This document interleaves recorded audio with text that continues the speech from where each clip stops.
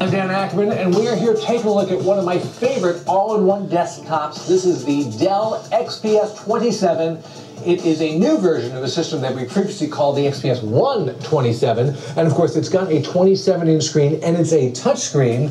In fact, it's such a big touchscreen, I don't even need to scroll over too far to get all my Windows 8 apps up on it. They're all just right here on the screen and like a handful of other uh, all-in-one desktops and even a couple of laptops that we've seen recently, it's got a higher than 1080p screen resolution. In this case, it's 2560 by 1440. That's the same as you're going to get on the big 27-inch Apple iMac.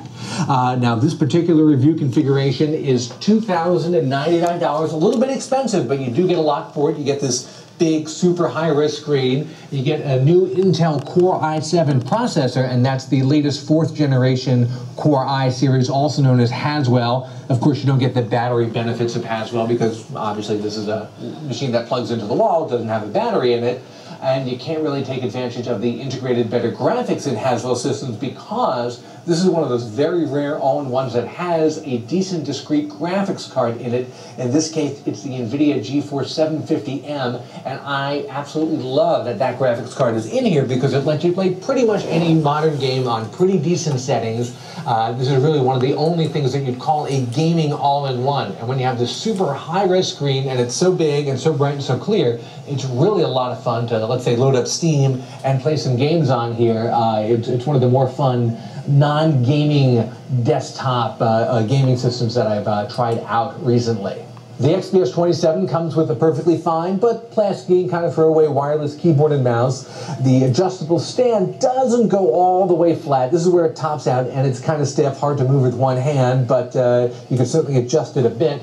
Uh, I love all the ports and connections on here. You got plenty of USB 3 ports. You have not only uh, an HDMI output, but also a separate HDMI input. So you can plug, let's say, a Blu-ray player or a cable box or an Xbox or something up to it and just use the monitor and speakers, uh, which makes it pretty handy for having you know,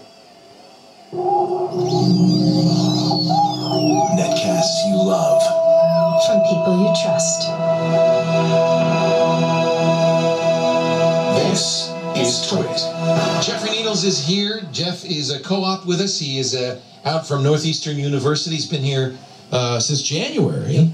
And you're going to be going back in August, back to school. But we're really, we've been having a wonderful time having you here. And anybody who's seen the GizWiz and watched his Lego building prowess. But he's also a computer whiz. Do you prefer Windows or Mac? Let me ask you that right up front. For I think you're a office Mac guy. work. Yeah. I like Windows. Really? For home For Excel and stuff. Okay. Just- So you're agnostic. We uh, let you try out the new Dell XPS 27. This is effectively uh, Jeff Needles. Thank you, Jeff. Jeffrey Needles is here. Jeff is a co- really for home Excel and stuff. Okay. Okay. Just- So you're agnostic. We uh, let you try out the new Dell XPS 27. This is effectively